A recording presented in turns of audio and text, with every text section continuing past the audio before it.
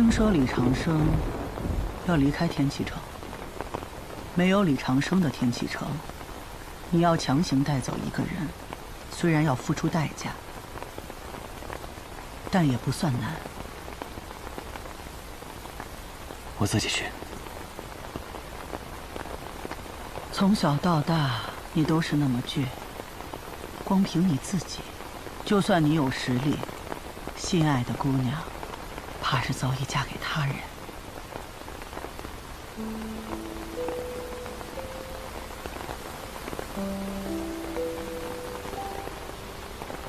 师傅，我想练魔仙剑。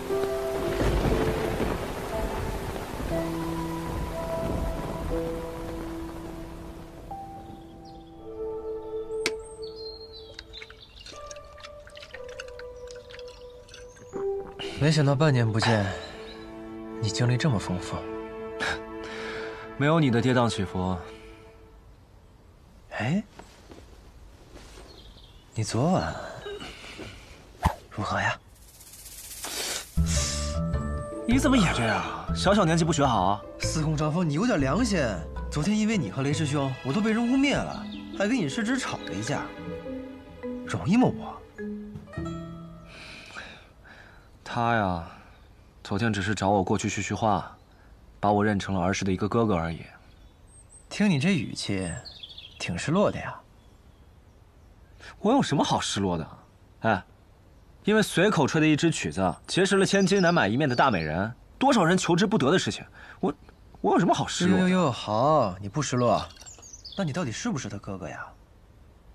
我怎么知道？我又记不起以前的事情。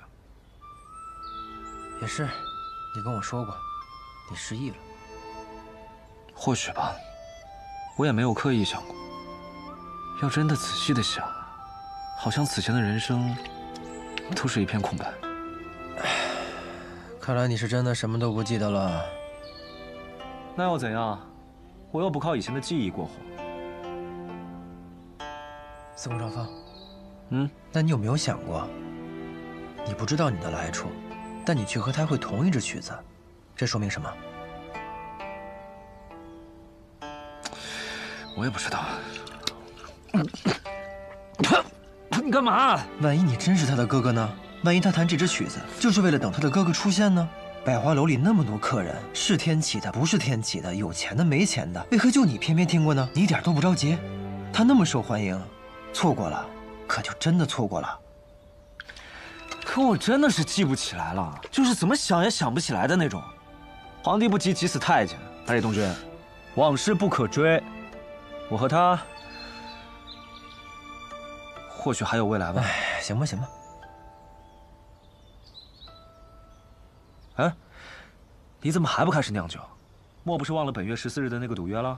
我当然记得呀，我这不是找灵感的吗？皇帝不急急死太监。百里东君，你，哎，这可不是你一个人的事儿啊！我枪还压在那儿呢。好了，我知道，放心吧，你的事儿就是我的事儿，你枪把我身上。嗯。哎。